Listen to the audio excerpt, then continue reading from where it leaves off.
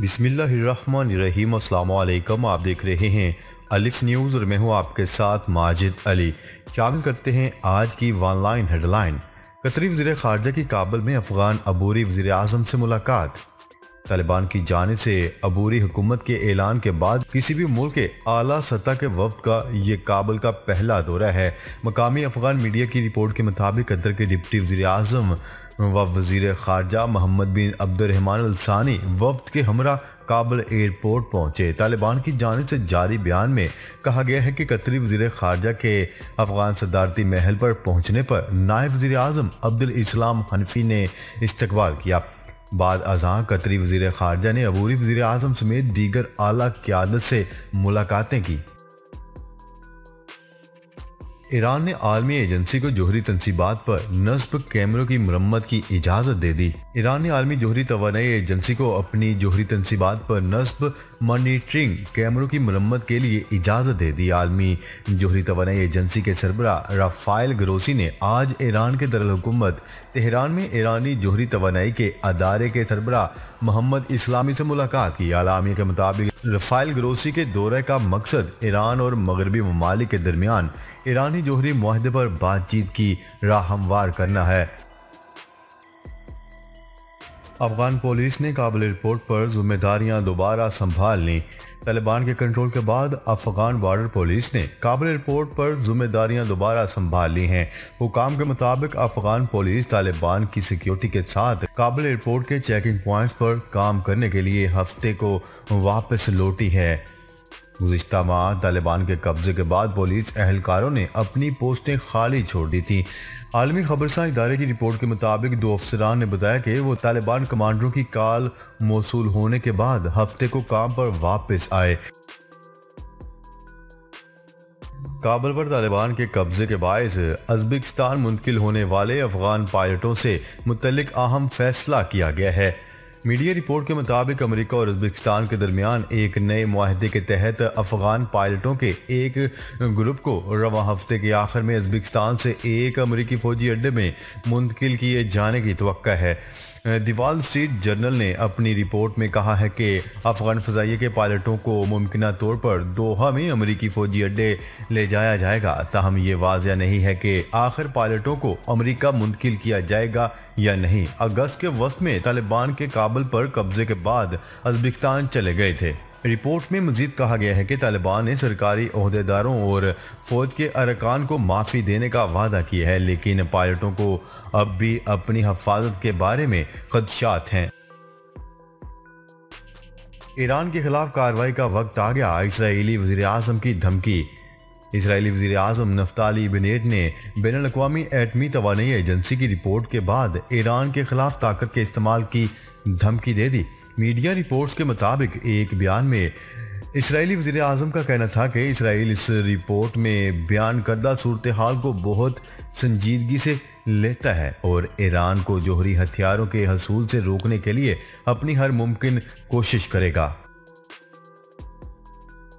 Canadian वज़ीर अजम Justin Trudeau पर हमला, पत्थर मारने वाला नौजवान गिरफ़्तार। कनाडा के वजी अजम पर हमला करने वाले मुलजम को बिलाखर पुलिस ने गिरफ़्तार कर लिया। गिरफ़्तार नौजवान ने गुजशत दिनों पत्थर से जस्टिन ट्रोडो को निशाना बनाने की कोशिश की थी। ट्रोडो के सियासी मुखालफी ने भी इस वाक्य की मजम्मत की है। कैनेडियन पुलिस हुकाम की जानब से जारी बयान में कहा गया है कि वजी अजम जस्टिन ट्रोडो पर इस वक्त हमला करने की कोशिश की गई, जब वो एक इलेक्शन कम्पेन में शिरकत के लिए जाने की तैयारी में मसरूफ थे। गिरफ़्तार मुलजम का नाम शेन मार्शल बताया जा रहा है, जिसे कनाडा के मशहूर शहर टोरंटो के जनूब मगरबी शहर लंदन से गिरफ़्तार किया गया। सऊदी अरब के वज़ीर खारजा शहजादा फैसल बिन फरहान का कहना है कि सऊदी अरब इंतहा पसंदी और दहशत गर्दी के खिलाफ जंग में ऑस्ट्रिया और बैन अवी बरदरी के साथ मिलकर काम करेगा। न्यूज़ रिपोर्ट के मुताबिक ये बयान एतवार को रियाज में होने वाली शहजादा फैसल बिन फरहान और उनके ऑस्ट्रियन हम मनसब अलेक्जेंडर शेलनबर्ग की मुश्तर प्रेस कॉन्फ्रेंस में दिया गया। तालिबान ने वादे पूरे नहीं किए। फ्रांस ताल्लुक कायम नहीं करेगा। फ्रांस के वज़ीर खारजा ने अफगान तालिबान पे वादे पूरे न करने का इल्ज़ाम आयद करते हुए कहा है कि इनका मुल्क तालिबान की ऐलान करदा हुकूमत के साथ कोई ताल्लुक कायम नहीं करेगा। उन्होंने इस हवाले से कहा है कि बतौर ख़ास इस वक्त तक जब तक ये एक ही रंग में रंगी हुई है। न्यूज़ रिपोर्ट के मुताबिक फ्रांस के वज़ीर खारजा का इंतहाई गसीला बयान इस वक्त सामने आया, जब वो कतर में अफ़गानिस्तान से लोगों के इनखला की आइंदा कार्रवाई के हवाले से बातचीत के लिए दोहा रवाना हो रहे थे।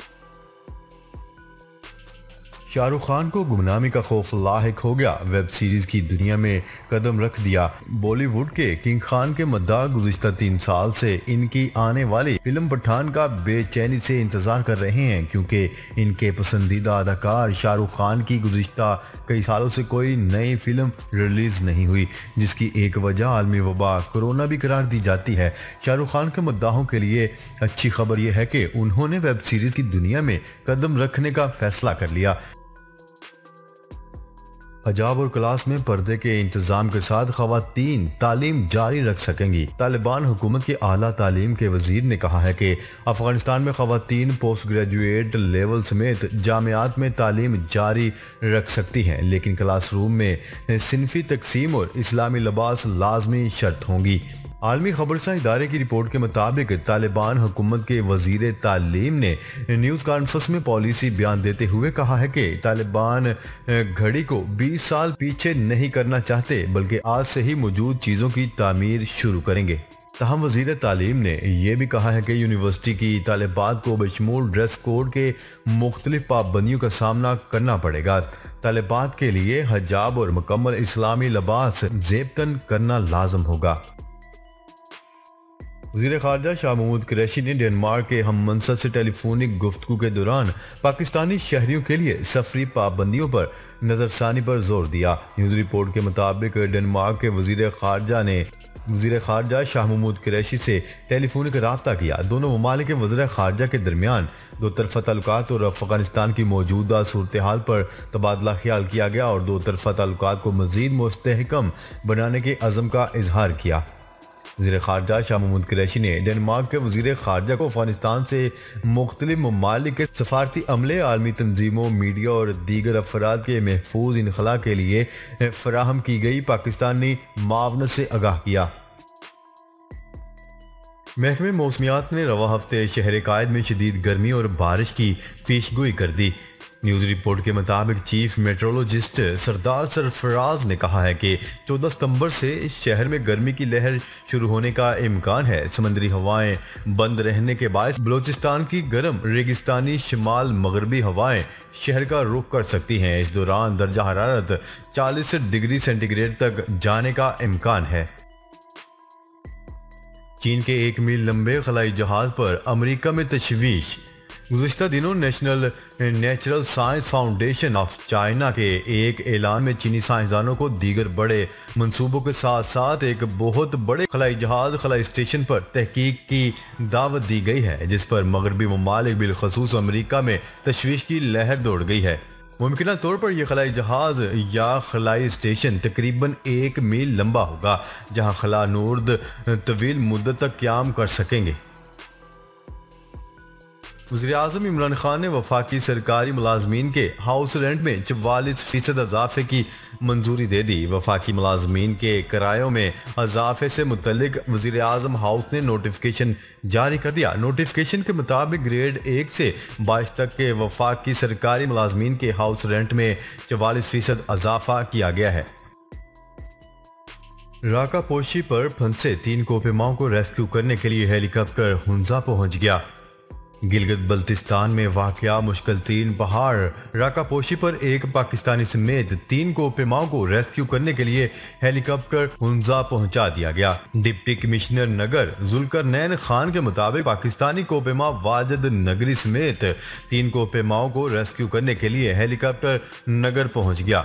उनका कहना था कि कोपेमाओं से रबते में हैं और वो खैरियत से हैं। 6,900 मीटर की बुलंदी तक हेलीकॉप्टर का पहुँचना मुश्किल है। तो कोपेमाओं को कुछ नीचे तक आने के लिए कहा गया है जबकि कोपेमाओं को रेस्क्यू करने के लिए जमीनी कोशिश भी की जा रही है। जी तो नाजरीन अब तक के लिए इतना ही। मजीद खबरें लेकर बहुत जल्द आपकी खिदमत में हाजिर होंगे। तब तक के लिए अपना ख्याल रखिएगा। अल्लाह ने के बान